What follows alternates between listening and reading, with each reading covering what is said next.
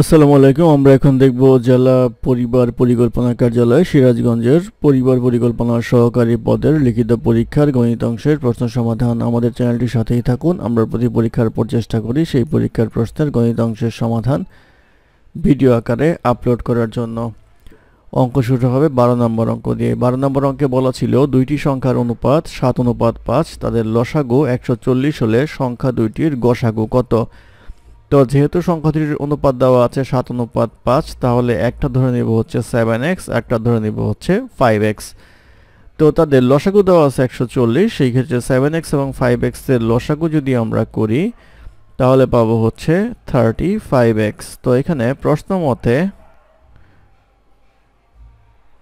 এই thirty five x equal to আসবে হচ্ছে ওয়ান ফোরটি বা এক্স ইকুয়াল টু আসবে হচ্ছে ফোর সেভেন এক্স এবং ফাইভ এক্সের গসাগু করলে আসবে হচ্ছে এক্স এক্সের মান আমরা বের করেছি ফোর তাহলে গসাগু হবে হচ্ছে ফোর এটি এই প্রশ্নের উত্তর।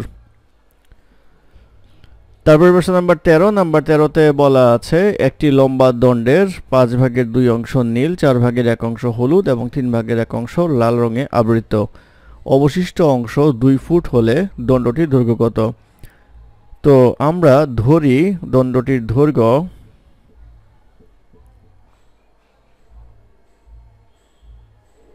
ইকুয়াল টু এক্স তাহলে যেটা করতে পারব, সেটা হচ্ছে আমাদের এক্স সমান সমান হবে হচ্ছে টু এক্স বাই ফাইভ অর্থাৎ এক্সের পাঁচ ভাগের দুই অংশ যোগ হচ্ছে এক্স বাই ফোর চার ভাগের এক অংশ যোগ হচ্ছে এক্স বাই থ্রি তিন ভাগের এক অংশ যোগ হচ্ছে অবশিষ্ট দুই ফুট। এই আসবে হিসাব। তাহলে এক্স ইকুয়াল টু লসাগু করলে আসবে হচ্ছে সিক্সটি এইটা আসবে হচ্ছে twenty four x plus fifteen x plus twenty x plus আসবে হচ্ছে ওয়ান টোয়েন্টি। বা সিক্সটি এক্স ইকুয়াল টু আসবে হচ্ছে fifty nine x plus one twenty. বা এক্স ইকুয়াল টু আসবে হচ্ছে ওয়ান টোয়েন্টি। অর্থাৎ একশো বিশ ফুট হবে হচ্ছে সম্পূর্ণ দৈর্ঘ্য। এটি হবে এই প্রশ্নের উত্তর। তারপরে প্রশ্ন নাম্বার চোদ্দ। নাম্বার চোদ্দতে বলা আছে, প্রতি বছর সিরাজগঞ্জ জেলায় হাজারে আঠারো জন জন্মগ্রহণ করে এবং হাজারে পাঁচজন মানুষ মৃত্যুবরণ করে। এক বছরে সিরাজগঞ্জ জেলায় বাহান্ন হাজার জন লোক বাড়লে মোট জনসংখ্যা কত? তাহলে আমরা প্রথমে বের করব হচ্ছে, প্রতি বছর কতজন বাড়ে এক হাজারে? অতএব প্রতি বছর এক হাজার এ বাড়ে বারে হচ্ছে আঠারো মাইনাস পাঁচ ইকুয়াল টু আসবে হচ্ছে তেরো জন। তাহলে এখানে বলা হচ্ছে বারে হচ্ছে বাহান্ন হাজার। তাহলে তেরো জন প্রতি বছর বাড়লে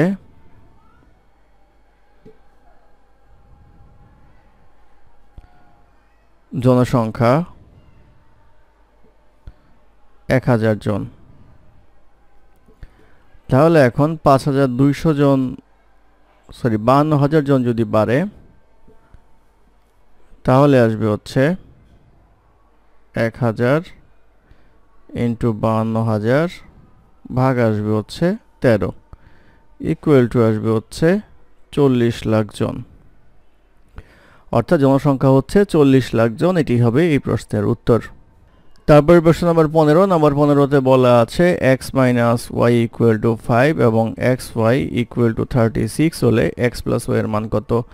তো আমরা জানি x plus y whole square equal to x minus y whole square plus four x y এটা করলে আসবে হচ্ছে five square plus four into thirty six equal to আসবে হচ্ছে ওয়ান সিক্সটি নাইন তাহলে x plus y whole square equal to one sixty nine তাহলে x plus y equal to হচ্ছে thirteen এই থার্টিন হবে হচ্ছে নির্ণয় মান এটি এই প্রশ্নের উত্তর।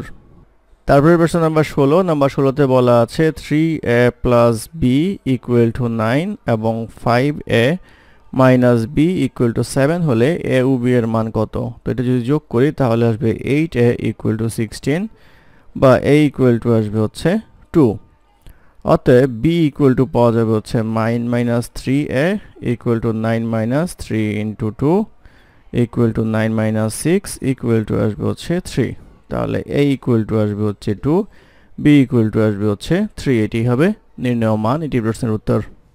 তারপর প্রশ্ন নাম্বার সতেরো। সতেরোতে বলা আছে, একটি ত্রিভুজ আকৃতি জমির ভূমি পঁচাত্তর ফুট এবং উচ্চতা চৌচল্লিশ ফুট। প্রতি বর্গ ফুট তেইশ টাকা পঞ্চাশ পয়সা হিসেবে ঘাস লাগাতে কত খরচ হবে? তো এই ক্ষেত্রে আমাদের আগে ত্রিভুজ আকৃতি জমির ক্ষেত্রফল বের করতে হবে। ত্রিভুজ আকৃতির জমির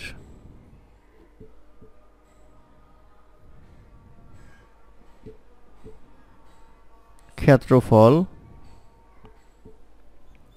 ইকুয়াল টু হাফ ইন্টু ভূমি গুণ উচ্চতা। ইকুয়াল টু আসবে হাফ ভূমি দেওয়া আছে হচ্ছে পঁচাত্তর ফুট, উচ্চতা দেওয়া আছে হচ্ছে চৌচল্লিশ ফুট। তাহলে এটা করলে আসবে হচ্ছে ষোলোশো পঞ্চাশ বর্গ ফুট। ষোলোশো পঞ্চাশ বর্গ ফুট হচ্ছে ক্ষেত্রফল। এখন আমরা যেটা করব সেটা হচ্ছে প্রতি বর্গ ফুট তেইশ টাকা পঞ্চাশ পয়সা হিসেবে।